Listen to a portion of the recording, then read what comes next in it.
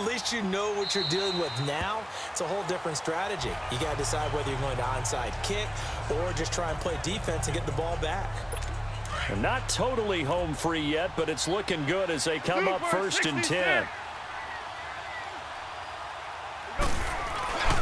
They'll try and choose some block with Gurley. And he stopped immediately there.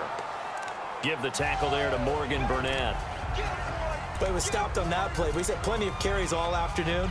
Every now and then the defense is going to win one, but I don't think they'll shy away from handing it to him the rest of the game. Another running situation on the doorstep as they come up second and 10.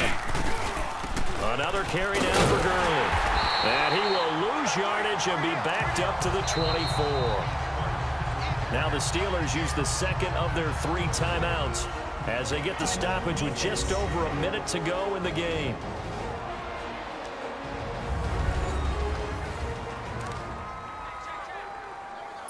The Rams on third down. They've been outstanding. Seven first downs and eight tries. This is third and 11.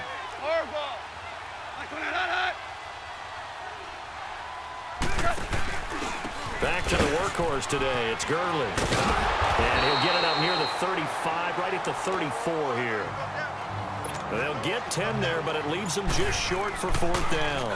This offense really put themselves in a tough spot on first and second down, needing long yardage to try and pick up a first down. And they end up getting a great run.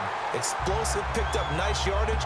You don't expect to be in this situation on fourth down, but guess what? It all started with what happened on first and second down. Really put them behind the eight ball. The fourth down run successful. Now they look to pay it off on first down. They'll look to throw. And he can't hang on to it. That would have sealed it. Instead, second down. Nearly an interception. If that one's picked off, it's over. So a new lease on life, so to speak. A lot of times when you're in coverage, you're so focused on the man and the coverage that sometimes the ball, if it arrives. This is caught inside the 15. And into the end zone. Touchdown, Pittsburgh. Julian Edelman with five seconds left. And the Steelers have taken the lead here in the fourth quarter. Might be seeing that one on the highlight shows tonight. The home run ball here in the fourth quarter to take the lead. There's nothing like being aggressive, preaching that to your team, and then following through. All the way through. Go ahead and throw one more up there. Why not? Been a great game, and we are not done yet. They'll look to run for him with Williams. And he will get into the end zone for the two points, and that helps. That gives them a seven-point lead.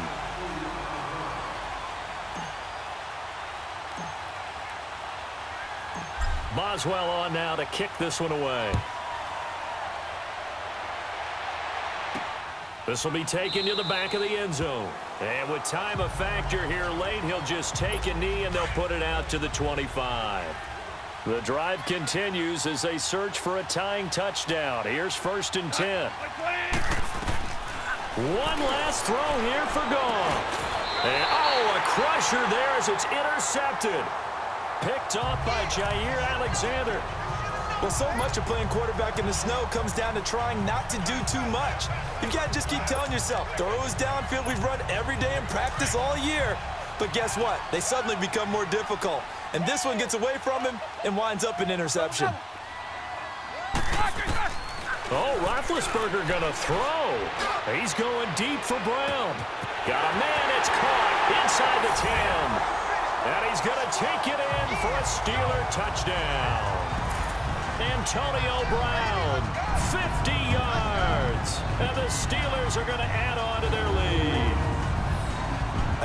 Revere talked about by land or by sea, right? You know, one by land, two by sea. He didn't mention air because right now we're seeing a big-time performance, aren't we? That's two touchdowns so far in this game. Where'd you pull that one from? And, you know, every now and then I actually listened in history class. and you're just a scholar all the way around. You're reading all the time. I like that you fit that into the broadcast. you know, I just grab a nugget when I can. One more extra point attempt for good measure.